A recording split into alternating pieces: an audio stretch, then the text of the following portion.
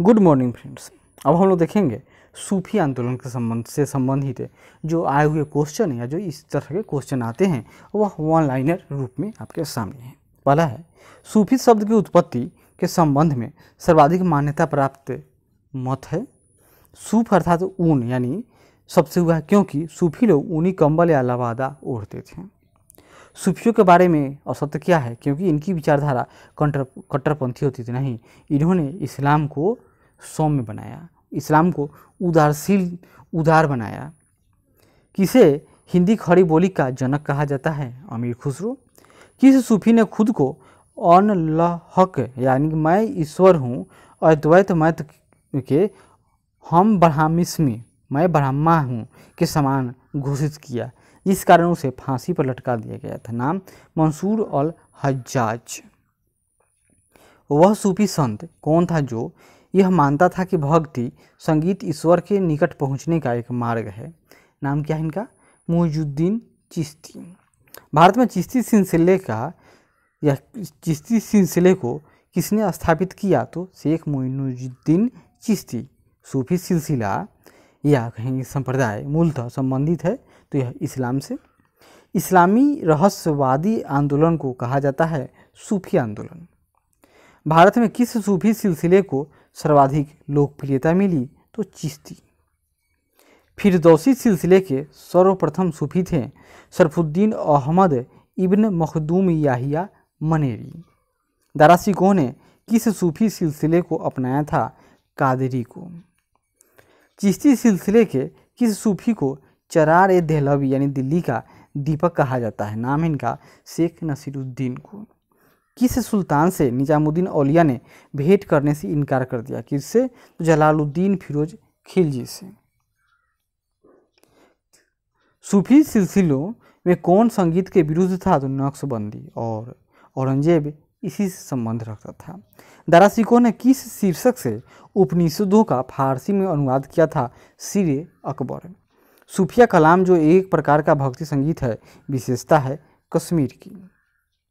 सूफी संत ख्वाजा मोनुद्दीन चिश्ती किसके शासनकाल में राजस्थान आए थे तो पृथ्वीराज चौहान के समय में। और पृथ्वीराज चौहान को कौन हरा दिया? तो मोहम्मद गौरी। प्रसिद्ध सूफी सलीम चिश्ती रहते थे फतेहपुर, सिकरी में।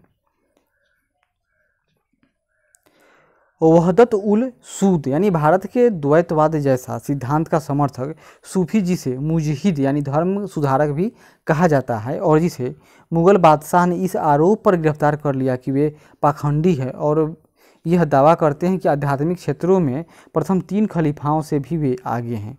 वो कौन था? तो शेख अहमद फारूक सरहिंदी। मध्यकालीन सूफियों में सबसे धनी सूफी थे शेख बहाउद्दीन जकारिया। किस सूफी को बख्तियार काह की यानी भाग्यवान रोटियों वाला कहा गया तो यह कौन थे तो ख्वाजा कुतुबुद्दीन। किस सू, किसी सूफी संत को सुल्तान ए तारिकीन सन्यासियों के सुल्तान की उपाधि मिली है? किसका नाम बताइए उसका? नाम है इनका शेख हमीजुद्दीन नागौरी शेख फहीर फरीद यहाँ देखिए शेख फरीद हिंद मसूद गंज ए शंकर या शकर या शेख फरीद, या इनका नाम है बाबा फरीद की गतिविधियों का क्षेत्र था हाँसी एवं अजोधन। काव्या भक्ति के रूप में उर्दू का प्रयोग करने वाला पहला शासक था, नाम उसका अमीर खुसरो है। किसी सूफी को महबूब ए इलाही यानी अल्लाह के प्रिय कहा जाता है। किसको? तो नाम इसका शेख निजामुद्दीन औलिया को। किस सूफी संत ने कहा था, हनीज दिल्ली दूर अस्त मतलब दिल्ली अभी दूर है तो यह शेख निजामुद्दीन औलिया ने कहा था। किसको? तो मोहम्मद बिन तुगलक से पहले कौन राजा थे? उन्हीं को कहा था। आगे बढ़ते हैं। दक्षिणी भारत में चिश्ती सिलसिले की नींव रखने वाला कौन था? शेख बुरहानुद्दीन गरीब। मिराज उल आशिकीन उर्दू शायरी की पहली किताब है, जो किताब के सूफी रचयिता हैं। कौन? जिनका नाम याद कीजिए। सैयद मोहम्मद गेसुदराज बंदान, बंदा नवाज़। अकबर जी से सूफी संत संत का बड़ा आदर करता था, जिसके आशीर्वाद से शाहजादा सलीम यानी जहांगीर का जन्म हुआ था, वह था सलीम शेख सलीम चिश्ती।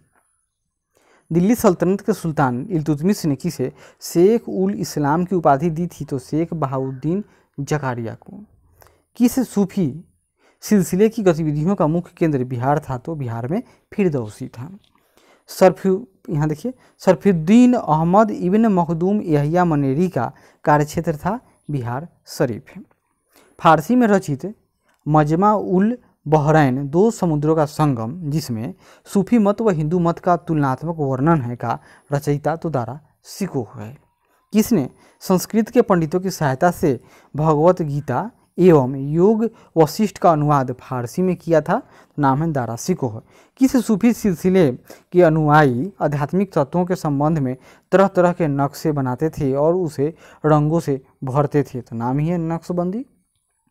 मुगल बादशाह औरंगज़ेब को किस सूफी सिलसिले में दिलचस्पी थी और उसे अपनाया भी था? तो नक्शबंदी। किसे शेख अल हिंद की पदवी प्रदान की गई थी? तो उसका नाम क्या है? शेख सलीम चिश्ती।